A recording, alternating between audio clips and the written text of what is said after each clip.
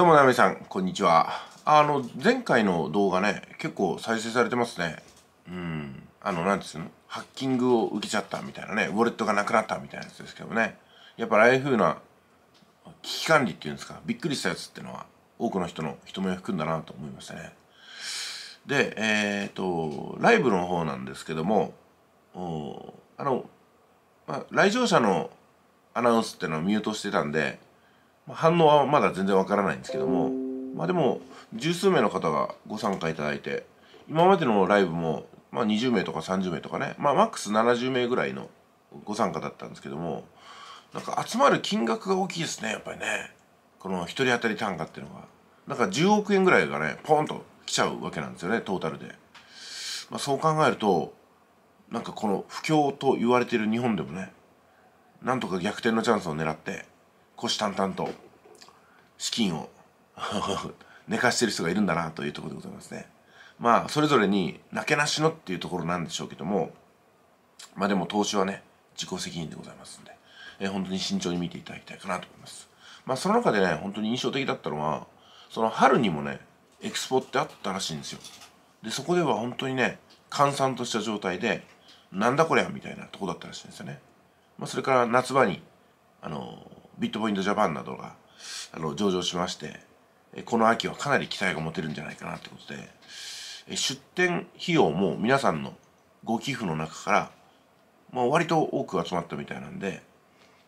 まあ、なんか随分盛り上がるんじゃないかなってことで、えー、昨日はねお話しいただけたんですけども早速動画の方アーカイブで出しますんで1時間弱の放送になりますけども、まあ、ご覧になってみてください。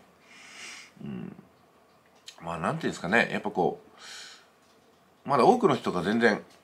わからない世界に、まあ私もそうですけども、ナミさんもね、えー、生きていて、まあそれがなんか夜明けとともに大きく広がっていくっていうんですかね。うん、でまあなんかこう、今まであったビジネスとか仕事をまたね、あの繰り返していく中で小さなイノベーションはあるんでしょうけども、やっぱりその、なんていうのかな、人類の生きる足場そのものを入れ替えるようなねまさにプラットフォーム駅自体が違う鈍行の駅なのか新幹線の駅なのかそれともエアポートなのかとかねそのぐらいの違いがあるような概念じゃないかなと思うんですよ。まあ、これからも、まあ、そのドラマが楽しみだなと思うのとその中の登場人物としてね、うん、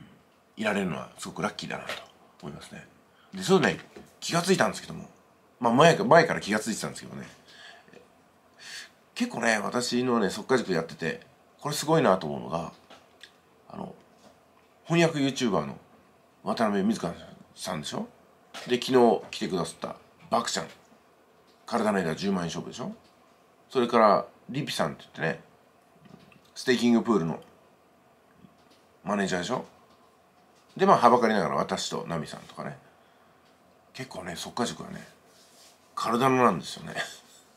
体の別動体みたいな感じで。割といるなって感じです。まあ速稼塾でくくらせてもらって申し訳ないんですけどもね。まあ一つの見方としてうん。まあちょっとね手前味噌で言わせていただくと、まあ、私のねその情熱が多少は広がったんじゃないかなと思いますね。うん。途中でクローバーコインとかね体のとかね挙句にはそのスピンドルみたいなの出てきましたけども、まあ、揺れない心で突っ走ってきたかなと。あちなみに GACKT さんなんか芸能活動休止したらしいですね。うんどうもねあのスピンドルが随分闇になっていたそうですね、うん、